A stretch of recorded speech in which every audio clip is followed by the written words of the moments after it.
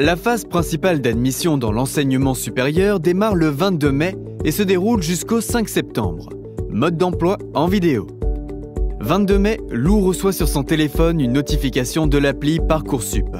Elle a déjà plusieurs propositions d'admission. Elle se connecte à son dossier. Lou consulte l'onglet Admission.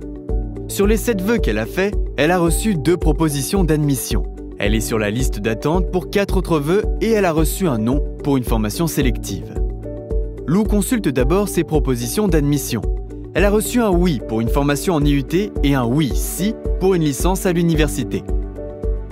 Si elle choisit le oui si, elle pourra bénéficier d'un parcours personnalisé qui lui permettra d'acquérir de nouvelles compétences et de réussir sa licence. Lou doit faire son choix avant la date limite, le 28 mai 23h59 heure de Paris. Elle a donc 7 jours pour se décider et ne peut accepter qu'une seule proposition. Après en avoir discuté avec ses proches et ses professeurs, Lou a fait son choix. Le 24 mai, elle accepte la place en IUT et renonce ainsi à la proposition en licence de chimie à l'université A. Lou doit ensuite choisir de maintenir ou non ses vœux sur liste d'attente.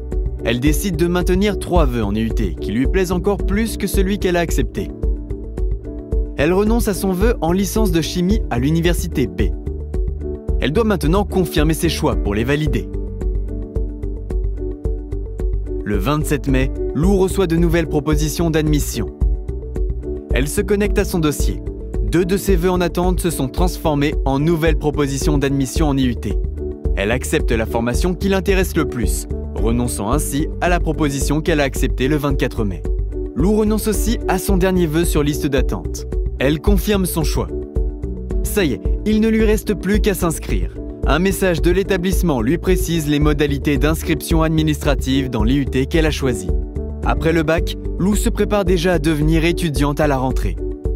La situation de son amie Aya est différente. Le 22 mai, elle a reçu des réponses positives, mais elle est sur liste d'attente pour tous ses vœux. La situation va évoluer rapidement. Des places vont se libérer et elle pourra recevoir des propositions d'admission. De son côté, le 22 mai, Johan a reçu des noms à tous ses vœux. Il n'a demandé que des formations sélectives. Il en parle tout de suite à son professeur principal et à son entourage. Sur Parcoursup, il va recevoir un message qui lui indique qu'il peut solliciter dès le 22 mai la commission d'accès à l'enseignement supérieur de son académie.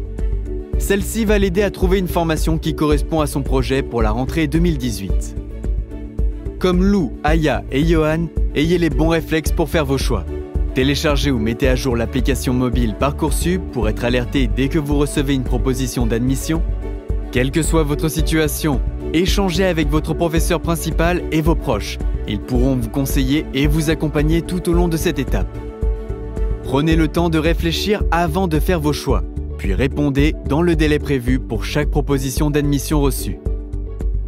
N'hésitez pas à contacter via Parcoursup la commission d'accès à l'enseignement supérieur de votre académie. Dès le 22 mai, si vous n'avez reçu que des noms, et après les résultats du baccalauréat, si vous n'avez toujours pas de proposition d'admission, la commission pourra vous proposer une formation en fonction de votre projet d'études pour la rentrée. Et pour tous, à partir du 26 juin, grâce à la phase complémentaire, vous pourrez faire de nouveaux vœux pour des formations qui ont des places disponibles.